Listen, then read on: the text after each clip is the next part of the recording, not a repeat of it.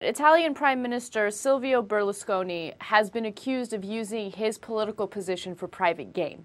All right? And this private gain includes sexy women.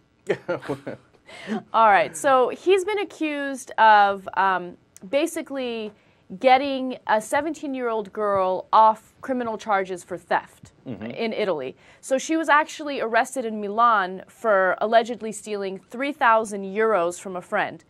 And after she was arrested, that's her? That's her. Um, and her, Wrong. her name is Karima Kayek. Uh, after She's of Moroccan descent. she is of Moroccan descent. After she was arrested, uh, Berlusconi came to her rescue and uh, uh, told uh, authorities to let her go because she is uh, an Egyptian uh, princess, an Egyptian president's daughter, actually. It- right, Ho- Hosni Mubarak's daughter, uh, which is totally not true. He was just interested in her sexually. Okay, she's Right. 17. Now She's here's a- 18 now, but at I that know, time she right. was 17. So it's okay to be turned on by her now because she's 18. Uh, but uh, now Berlusconi's 74 years old. Here's the thing, right? You're hooking up with, uh, you know, young woman significantly younger than you did, 24 years old. You're 74. I say, have at it, Hoss. More power to you, right? Uh-huh. I mean, come on, you're the leader of the country. Just a little older. That's all I'm saying. I mean, bounds of reason, right? Right. You're chasing after 17-year-old Moroccan girls. Uh, it, you know, if they were a little older, I could actually rally to his side, right? I could say, hey, you know what? The guy's living life. he's living large, okay? And and he's amazing. He he does this over and over. There was another 18-year-old that he was a family friend. He went to her birthday party and tried to stup her. You said this. I, I'm. How old is he? He's, He's 74, and uh, at the time that he got her off of the theft charges, she was 17.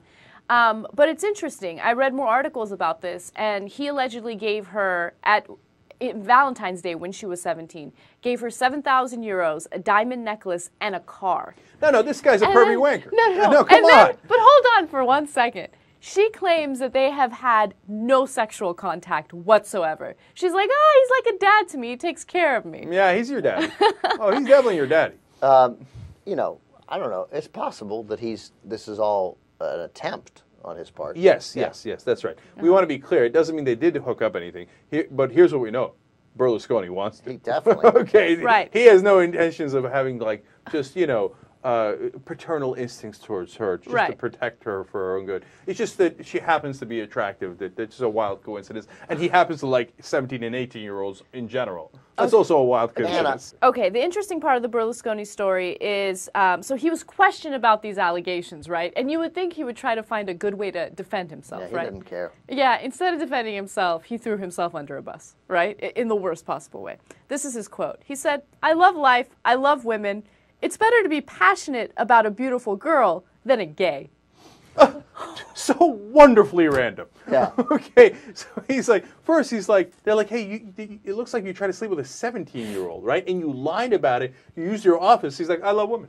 Mm-hmm. Right. He's like, what are you going to do about it? I, I mean, I mean, this guy is like our Republicans, right? Yeah, totally. And by the way, he's been around for like 58 years. We got rid of Bush. Berlusconi's still around in Italy. But basically, he does this, right? He, he like he opens up his jacket. and He's like, what are you going to do about it? Okay, I I like beautiful women. What are you going to do about it, huh? Okay, now and he is Italian.